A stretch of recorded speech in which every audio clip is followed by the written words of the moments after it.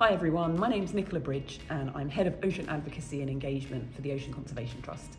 And I'm here because I've got some really great news. If you want to take action for the ocean today, we've been working with some fantastic colleagues over the past few months to ask local councils in the UK to declare an urgent need for ocean recovery.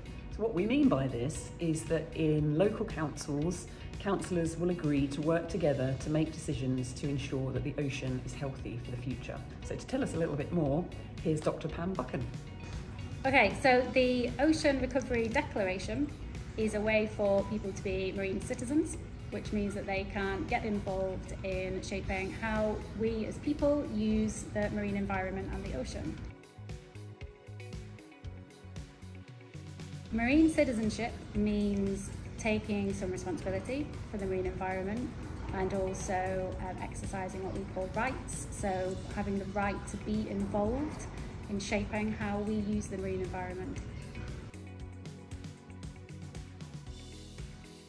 So the motion is designed for local councils because though lots of decisions are made at national government level, local councils also have responsibility for quite a lot of things that are happening in their area.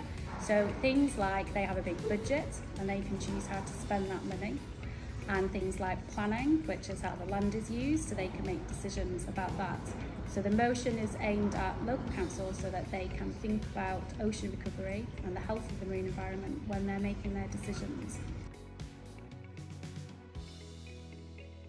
Councillors can get involved by using the model motion. So this is like a template for the Ocean Recovery Declaration and councillors can use that to adapt and make it suitable for their council and then they can ask their fellow councillors in a full council meeting to declare an urgent need for ocean recovery.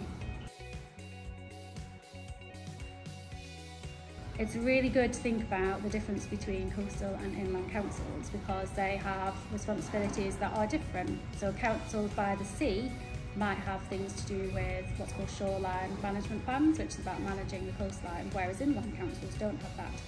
However, the health of the ocean is really important for everybody in the whole world, wherever you live.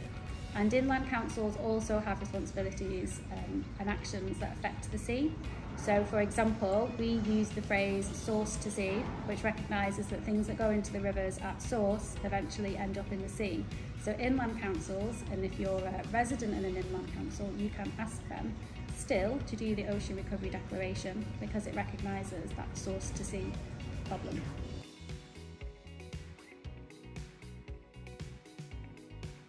Either write to them by letter or by email and enclose the model motion and ask them to please take it to their council.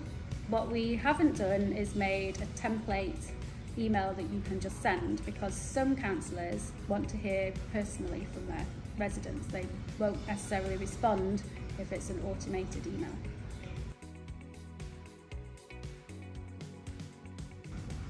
So your councillor has a responsibility to represent you and if you write to them or get in touch with them, they must come back to you and respond to you. They may not necessarily do what you ask them, especially if you're only one person that's contacted them. So the more people that get in touch, the better. This is what we call collective action. Everybody coming together, collectively asking for an ocean recovery will help councillors know that this is really important for the people that they represent.